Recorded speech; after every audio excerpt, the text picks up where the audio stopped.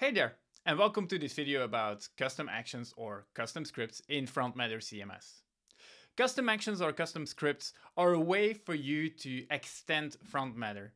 It's a way for you to create an action that you want to perform on the article that you're creating or on the metadata or FrontMatter of your article.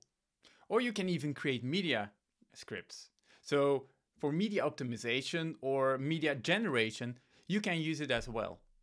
So what are examples of using custom actions? An example would be for generating automatic front matter or metadata for your content, or for instance, generating an open graph image. This is where I typically use it for. So for my blog, whenever I create an article, it will automatically generate myself a open graph image. And that's also the demo I'm going to show you in this video. So it's all about open graph images and I will start with a demo script that will run from the terminal. So it will take a couple of parameters and then it will automatically generate me that image. Once this is working, I will show you how you can hook it up into FrontMatter so that it's first done by a manual action and then we are going to automate it so that we don't have to click on anything anymore that it will just be automatically generated the moment I start creating my content. So let's dive in and show you what it's all about. Let's have fun. So here we are in Visual Studio Code where I already have the script for the Open Graph image open. At the top you will see the dependencies the script requires. All these dependencies, they already have been installed, so we don't have to worry about that. Now, the script itself is going to contain a couple of uh, properties that we are going to use in order to generate me the open graph image. The main one is the data variable. In the data variable, you can see the title, the description, and the dates. These three properties, they will later come from FrontMatter CMS. So I mimic the same behavior for the current script. Beside the script, we have an HTML file. And the HTML file just contains some tailwinds and some overall styling and then some HTML in order to generate me an image with the FrontMatter logo, the title, the date, and the description. In the script, the title, the date, and the description placeholders will be replaced by the data objects. Once I'm opening my terminal, type in the path to my script with the node command, it will generate me this image. And this image is exactly what I want to attach whenever I create new content. So now that we have manually done it, let's go over to how you can link this into FrontMatter CMS. The best way to get started to linking your script is via the documentation. On the documentation you will find custom actions and in custom actions, you will see two sections about content scripts and media scripts. We are going to focus on these content scripts, where a content script is going to do something for the content that you're going to create or that you already created. In here, you can actually see that every time you're going to execute a content script, it's going to provide you a couple of arguments. These arguments are going to be the workspace path, the file path, and the front matter data of your content.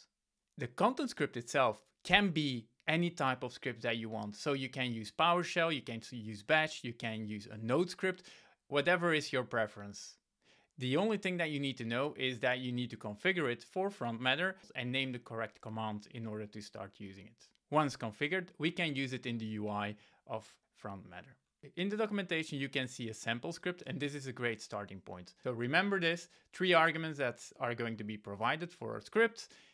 We can use these arguments in our script in order to do the automatic generation. So once we know that, we can start creating the script.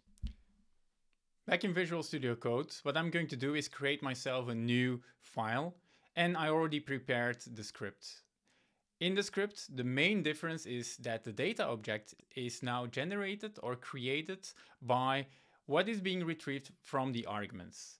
The arguments that FrontMatter is going to provide. So there you can see that I'm going to use the workspace path and I'm going to use the data raw objects. And the data raw object is the JSON representation of what is in my front matter. I'm going to parse this JSON and then I'm going to generate the open image. At the bottom, you will see a then and a catch. In the then, it's going to log the parts of the image. And this is what I actually need in order to paste in into the front matter section of my content. Now, what is important is that the listener of front matter is going to look for a console output. Once there's a console output, it knows that the script has been completed. And that's also when you get a notification inside Visual Studio Code. Now that I explained the script, it's time to move over to the configuration of how you can link this script in the UI of FrontMatter. That configuration can start in the frontmatter.json file. There we are going to create a new frontmatter.custom.scripts property. And in there we are going to configure the new scripts in order for FrontMatter to know that there's a new custom action that is becoming available. What you can see is that we just name it with an ID, a title, a script, and a command. Here I'm using a path to where my NVM or node process is located. Because if you're using NVM, it needs to know the right version of node that it's going to use. So that's why I specify a specific path to the node version. If you only have one node version installed, you can just use node. Now that script is configured, you can open one of your markdown files. When the markdown file is open, and the panel or front matter is open, you will see that underneath the actions section that there's a new button uh, available. This new button, in my case, says generate open graph image. When I click on it, it will start executing the script that is attached to it. Once executed, it will give you a visual response of the output of the console log that you did. In my case, this will be the path to the actual image. And this is what I can use to copy and then paste in into the front matter section. We can also do a change to the script in order to automatically update the front matter of the file when the script gets executed. In order to do so, we have to do one small tweak in the console log. So in order to show that, let me update the title and then go back to the actual script. So going back to the script there at the bottom in the then, we are going to change the console log to a front matter object. And then in the front matter object, we are going to specify the properties that we want to update. In this case, it will only be the image. So you will see that image will get the image path, and then we are going to log this object. That way, front matter knows that it needs to update the front matter of your content instead of just logging something. So once that is done and you're going to execute this again, you will see that it all changes automatically and you don't have to manually copy and paste anymore. These were all manual driven and it might be better that front matter will do it. And that's where a post script action comes into play whenever you're creating new content. The post action or the post script property on the content type allows you to configure a script that will be executed whenever a new content for that particular type is being created. So let's go back to frontmatter.json and there we need to copy the ID of the script. Inside your content type, in my case I'm going to use the sticker content type, I'm going to use the post script property, and there I specify the ID of the scripts. Once this is specified and saved, I can open the dashboard of FrontMatter and create new content. If I select sticker and I create a new sticker, you will see that during the content creation, the post script will automatically get started, creates the image and updates the front matter of the content. I hope this video gave you a good understanding of what custom scripts mean for front matter CMS and how you can use them to optimize your workflow. Now, in some cases, things might go wrong. And if things go wrong, front matter will also notify you and tell you what went wrong. And in order to show you how the troubleshooting works, what I'm going to do is do and implement a bug inside my script. So I'm going to update the index number of 4 to 5, which means that it's going to take the fifth argument, which is not there and then going to execute the custom script again. Now you will see that once I execute it, I will get notified that there's a problem within my script.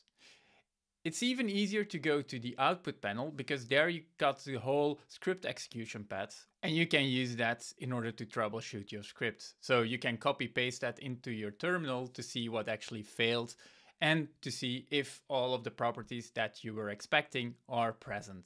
So that said, I hope that you got a good understanding of what they are all about, how to troubleshoot, how to create your own scripts. There's even more. So you can also use scripts within placeholders. You can use script for media creation and media optimization and so on. So we have extensibility parts everywhere in Front Matter CMS. So I hope you liked this video. If you have any questions, feel free to ask them here down below inside the comments. Don't forget to subscribe to my channel and see you in the next video. Thank you very much. Bye bye.